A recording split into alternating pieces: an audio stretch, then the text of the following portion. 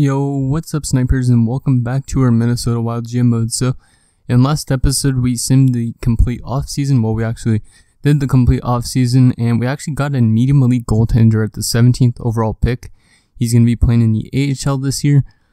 But otherwise, our team is stacked, I think, and looking good for this year. We got Eric Staal back in free agency as well, so he's going to play one last season with the Minnesota Wild, hopefully winning a Stanley Cup in the process. He still got decent stats for 76 overall as well, so that's why I have him on the lineup. And we do actually have two scratch players that I don't really want to scratch Lundestrom, but he's been a bit of a bust of a first overall pick, so he's scratched. And then Stanislav Gonchar actually grew to a 78, so he's also going to be our other depth guy in the NHL this year. So we didn't actually release a lot of players during the offseason, which I was expecting we might not be able to get everybody back, but we did. So, anyways, we're up here at the start of the 25-26 season.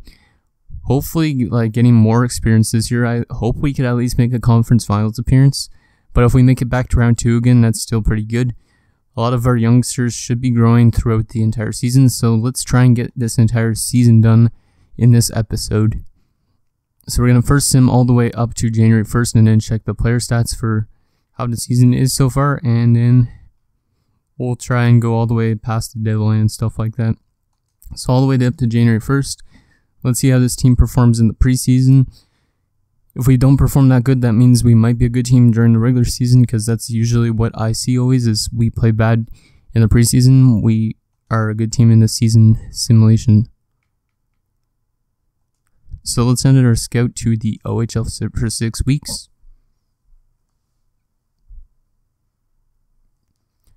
Okay, so not too bad so far. 2, 1, and 2. And let's see what we got here. Do we get another win at the end of it? Yes, we do. So 3, 1, and 2. Pretty solid record, but I still think we're going to be a good team this year. We start off 1 and 1. One of the losses coming against the Winnipeg Jets, and then the other one is a shootout win over Detroit. So, in case for some odd reason we have a bad season, at least there's a good year for rookies, so we could probably get some more good prospects in. Even though we don't really need to, because we have like so much young talent down in the minors, and we have a lot of young youth in the NHL, so we're not playing good actually to start off the simulation 1 3 and 2. But you know what happened last year? We actually just barely squeaked into the playoffs in a way because we had a very bad first half of the season, but then the month of March we went on like a big nine game winning streak or something like that, and we managed to make it. And I hope that's the case here as we managed to like be more consistent, maybe win some more games, that sort of thing. Okay, so we gotta send out our scout. Let's send it to the WHL because the WHL seems to be always be the best league to scout, at least in this series. And so we got an injury in the AHL. Mika Peltonen, just replaced player. Nobody important yet. Hopefully these players are performing. Hopefully we're going to get some good growth from like Fitzgerald because he's still listed as a depth forward at this time. So maybe he'll be like a third line scoring forward by the end of the season. Still not having the greatest record so far, but like I said, the first half of the season might be pretty rough, but then the second half might be even better. Game against Vegas. What do we got here? An injury or a trade offer or something? Peltonen is back for the HL club. I don't even remember where he was playing to be honest. Oh, where, where Griffin was because I scratched Griffin. That's where he was. Okay. How are some of these youngsters playing out of curiosity? 10 points, not bad for Malone. About Baran? 10 points as well. Wow, 7 points already for Yolonen as an 18 year old and 55 overall, so that guy might be a pretty good top 9 player come the future. There is. How much wins in a row now? We have 4 in a row. There's 5 in a row, I think. And then a loss but we're still playing better, it looks like, which is good. Yep, we're winning games now. Seems pretty automatic. I think we should be able to make it back to the playoffs this year. 17, 11, and 5. There's another loss, though, against the Flyers. Scouting assignment. I, I didn't mean to press OK. I meant to press whatever. So this also episode, guys, is a bit of a pre-recorded episode. It's just because I need to get stuff out for when I'm in school. So I'm gonna be like pre-recording a bunch of episodes and then putting them out after school. Well, they'll be recorded and uploaded and then scheduled to upload after school. So um, let's go to the United States, I guess, for something else. There's another win. Wow, Columbus was playing horribly and we beat them 8 to 3. So here at January 1st, we are 20, 14, and 6. So pretty good record. 20 and 20. Let's take a look at the player stats so far for the season. Wow, that first line still carrying over from last year's playoffs. 39 points in 40 games for Nick Ritchie. Wow. Apparently, we have the wild card spot at the moment. So let's just check where we are in the entire league currently. So yeah, we're 13th in the entire league. That's where we finished at the end of last season. What's clicking for us and what is not? Goals for per game, we are pretty solid actually, top 10 maybe. I'm not going to count it. Goals against per game, we are. And we're not doing the worst, like 16th maybe. Power play percentage, oh, our power play is horrible. Maybe I'll change up the power play lines actually. And our penalty kill 81.6. Ah, that's not horrible. But still, I'm going to change up the power play lines, I think, right after this. Don't know why the power play is not performing. So 39 points, as I was saying, for Ritchie. 37 for Kaprizov. He dropped actually to an 88 now. But that's still fine. Dumba still his 89. 30 points in 40 games. Maybe a Norris Trophy winning season for him. Kunin 29 points. Granlund only 25 points. Yeah, I might move Schultz up. Even though Schultz has been worse, I might move Schultz up. But Granlund's like a plus 13. Eh, we might try and change that up a bit. Maybe that's what's making the power play not perform or something. Fitzgerald still 79, but he is growing, so that's good. And his shot's getting even better. It's already of four stars. Eric Staal's actually got 10 points as of 76 overall, so not too bad for his age and everything. Schrader's got two goals. Wasn't expecting him to score that much, considering he's a defensive defenseman. And goaltending, Corson's been pretty solid. Two shutouts already. Yeah, he's been better than Saros. Saros has a winning record, but a really bad save percentage. Kind of interesting. Okay, so before we sim the rest of the season, or we'll up to the trade deadline, um, let's quickly take a look at what is the problem with the power play. There must be something that why it's not clicking. Like if our power play starts clicking, we'll start winning even more games. So, hmm. let's try going like this and that. And then also, hmm, maybe I should. How much power play points does Ruchin have? Four power play points. How about Dumba? Probably a lot of power play points, I'd assume. No, only four as well. How about Hodges? Is he's not playing that good on the power play? One power play point. Yeah, it might be that pairing. I don't know why Schrader's on the power play. I'd rather Knuble considering he's an offensive defenseman. So we're going to move Knuble up and we're going to put Ruchin down just to kind of give a bit more. Like, because Ruchin could help out Hodges and Dumba could hopefully help out Knuble and that sort of thing. So we're going to split those guys up. Hopefully that helps the power play a bit. And then we're also going to. Uh, we're going to leave the other ones the same. I think that's all we're going to change. So let's just continue simulating. We're going to go all the way up to the trade deadline, which is probably February sometime.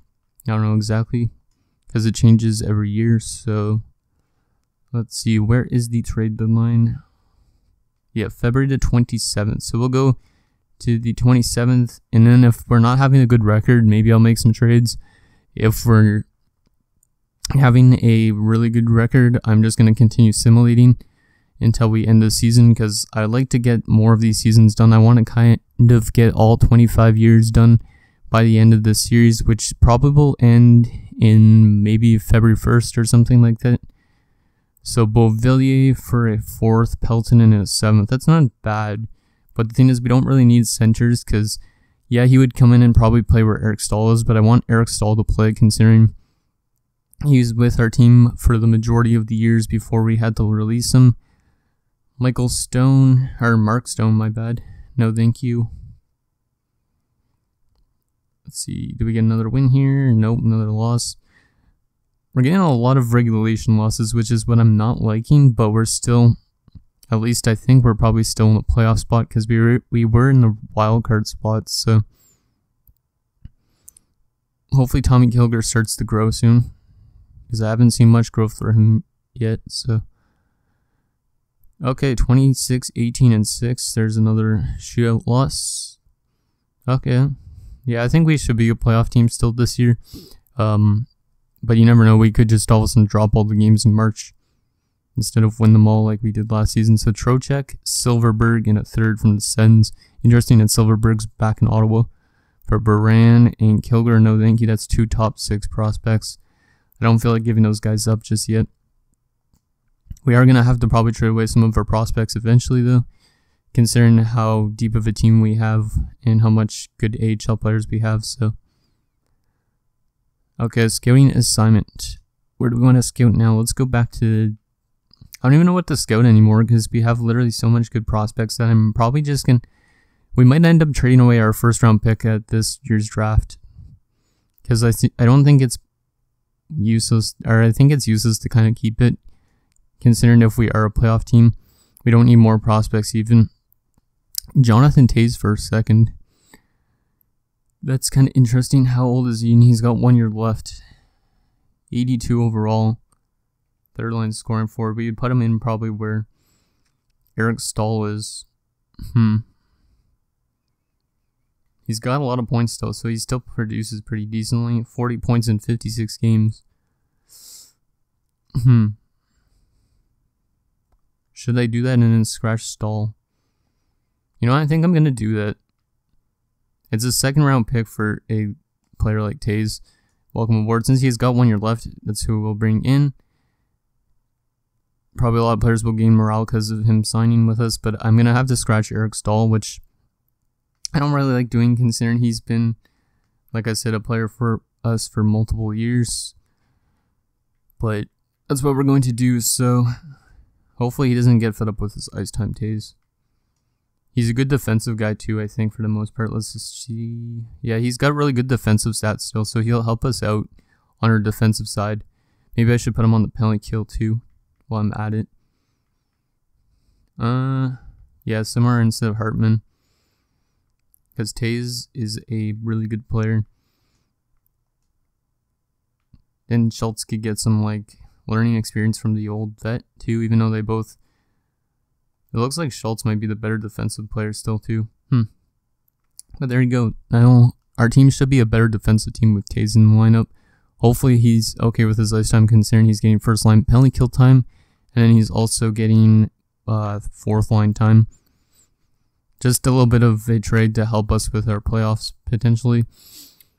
And I don't know if we're going to be able to trade our first away. We might not have to trade away our first. Maybe I'll trade away at the draft or something instead. Josi, no thank you. Don't need Roman Josi. Our defensive core is strong enough. Nick Merkley, no thank you. Since the Toews trade, we are, let's see, are we going to go 3 0 or 4 0 actually, I think? Wow, this is taking forever to load when there's a trade. Holy crap. Might have to save soon just in case. well, we're playing Chicago soon, so Toews is going to get to play his former team, which is interesting. I'm just going to stop the simulation again and see if the trade comes up yet. No, it does not, but we lose to LA, actually. Interesting.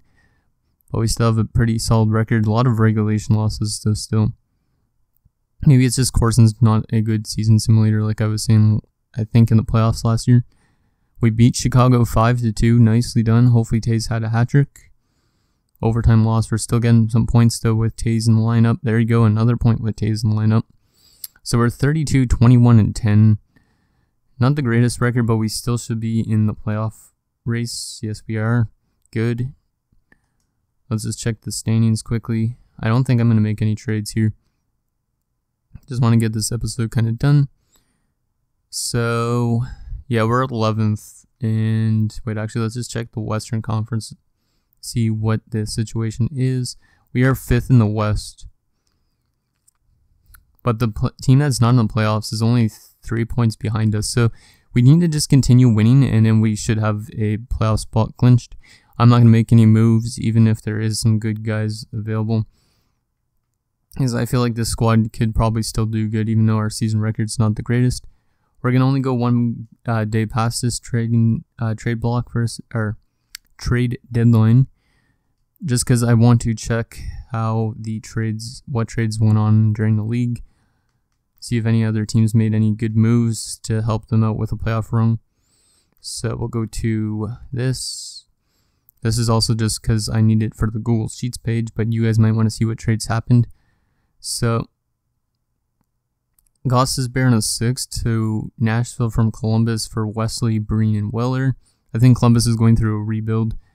Carlson from Columbus as well to Arizona for Fisher in the fifth. Second round pick for Jonathan Toews. That's what we did. Klotz in a fifth for Lau. I don't even know who these guys are. Some of them. Calvert in a fifth for a fourth and Kurt Nash. First and a seventh for Lindblom. Cornell in a sixth. Okay. So just a lot of teams going through rebuilds and adding stuff for the playoffs. So nothing too interesting. I don't know how good some of those prospects are. I'd check, but it would add a lot more time to this video. A lot of them probably first round picks of the past or something. So let's go to the end of the March. Hopefully we have a good simulation for the rest of the season. Considering we still got a lot of hockey left, hopefully Toews could get us some wins. And ooh, Petan has been injured. Okay, I'm gonna edit the lines, guys, and I'll see you guys back up here in a second. Okay, guys, so I got Eric Staal back in up there, and I also put Mallet back to the second line instead of the fourth line. There's an OT win and a shootout loss, so we're still getting some points. There's a bad loss to the Ducks. Petan's already back. Holy. I guess I should have checked how long he was out for. But looks like Staal didn't lose morale because of his ice time at all when he was scratched because he didn't drop. Oh, I don't want Gonchar, and that's not who I meant to put into the lineup. I meant to put in Petan. It's just Petan's a centerman, or he's a right winger. He could play so much different positions because he's left-handed, but he's also listed as a right winger, and then he's also decent at face-off, so I could play him pretty much wherever I want. There you go, getting some wins now. Come on, guys, there you go, three in a row. Can we make it four? Yes, we do with a 9-1 of the Chicago Blackhawks. Um, Okay, so okay, scouting assignment. Let's see. Let's go back to the WHL for six weeks. There you go, another nice win. Okay, yeah, I think we're definitely a playoff team now with these couple wins near the end of the season. Come on, guys, get a win here and don't lose three in a row. There you go. 41, 27, and 11. I think we should more than likely have the playoffs clinched. Our AHL team record, I think I just saw, was 20, 50, and 9. So our AHL team is continuing to have horrible seasons. We have not clinched yet, but we are very close to. So let's just go to the remaining few games of the season. Yeah, our AHL team has probably the worst record I've ever seen for an AHL team. There you go, three game winning streak and four game winning streak going into the playoffs. Hopefully that means we still similarly good. Our AHL team went 20, 53, and 9. Wow. Oh, those players are always minus in the minors, even if we have a good record, which is weird. So 80 points in 82 games for Kaprizov. Not as good as last year, obviously. He went point per game, but still a very good season for Kirill. Ritchie's 75 points, 44 goals actually for Kaprizov, 75 points for Ritchie, 57 for Luke Kunin. Glad he came back. He was a big contributor. Granlund 53 points. Toews had 46 points. I think he only had six with us, but that's on our fourth line. Um, his minus might be also from being with Chicago. Petan, 42 points. Schultz 41 points. He should be growing even more for next season and his contract ends yeah at the end of the season. So we're gonna have to give him a huge contract this year, probably like five million dollars. But I at least could release a lot of these guys like Toews isn't gonna come back hopefully. All right, I don't think Hartman 38 points, Kilgore 36, Sure 36, LA 26 points, not bad, up to an 80. Good, he's growing too. Fitzgerald 16 points. Not as good of a last as last year, but he's now got up to an 80, so he's slowly growing to being that NHL player we need him to. Um, he scores more goals than he assists on, so he's eventually going to become that player we want him to. It's just going to take a bit of time. Staal had 11 points in 59 games as a depth guy, not bad. Defenseman, Dumba 61 points, so he slowed down a lot in 82 games. Rugent 34 points. Still a lot of penalty minutes. This guy seems to always get in a lot of fights. If I remember correctly. Yeah, five fights. He had five fights last season and five fights this season. Hodges also five fights, so we must have been a really heavily penalized team. Hodges 10 points though. Knuble 9 points. Knuble always seems to have like 7 or 9 points.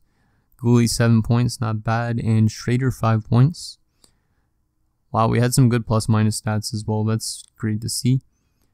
Goaltending, Corson had a pretty solid season 925 save percentage, 6 shutouts and a 2.3 goals against average. So I don't know if it's good enough to be a Vezina trophy winning goaltender, but it's at least getting close to being that one.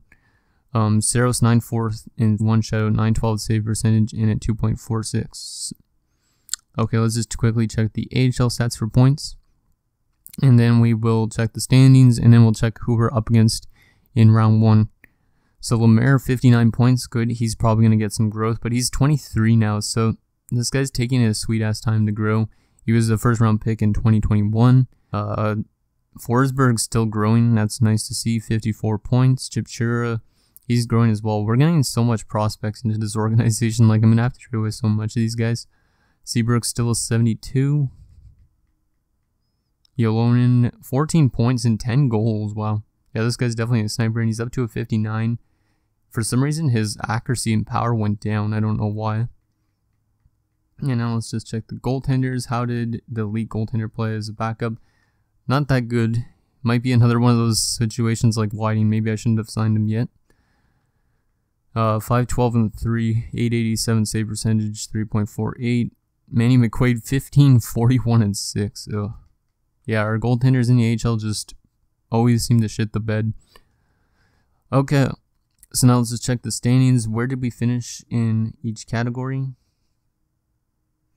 So, one second, guys. Just gonna need to check my phone for a sec. Okay, so as I was saying, guys, these standings look like this. So, for goals for per game, we finished, let's see, we finished, looks like, in the top 12 ish. I don't know how to say it otherwise. 2.88 goals per game. Goals against per game, we looked like one of the best teams, actually.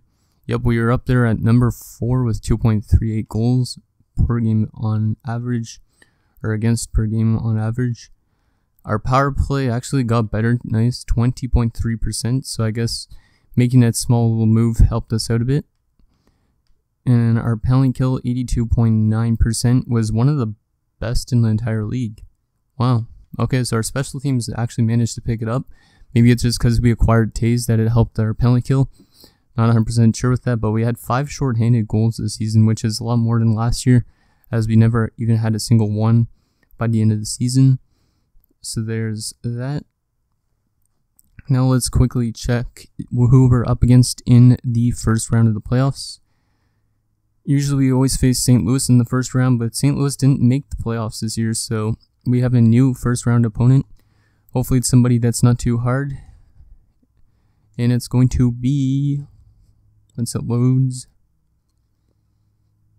The Colorado Avalanche. Interesting. We've never played them in the playoffs before, so this is our first ever meeting. So let's just sim up to game number one and see what the team's lines look like and all that sort of stuff. I don't even know who's on their team still. If they still have like, uh, I don't think they have Duchene, but I think they might still have MacKinnon. Hopefully they don't have any former players of ours. Let's see, Colorado. So our Artemi Panarin, wow, 88. MacKinnon, 92. Landeskog, 87. That's a very nice first line sniper, playmaker, and a power forward. Um, second line, you got Mikko Rantanen. That's another nice, good player, 80 overall. With Stu Bickle, damn, the second overall pick from 2020, 91 overall. So, yeah, this team is very scary, especially down the middle.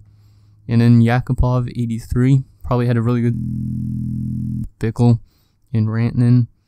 54 points, not bad. Archibald, 81 overall. Jost, 86. and Connor Sheary 82. Fourth line, Butsayev 76. This guy's still growing now. Jace Howrell 78 and Alvin Waters, who's a low elite 80 overall. So that's actually a really nice forward core. Like I'm really jealous of the top two. Otherwise, and the wingers actually on this part, the left wingers and the top right winger, but otherwise it's not that scary. And then defensively, oh man, really? I knew there was going to be a former player. Chris Bigras, 84, and Jared Spurgeon, 82.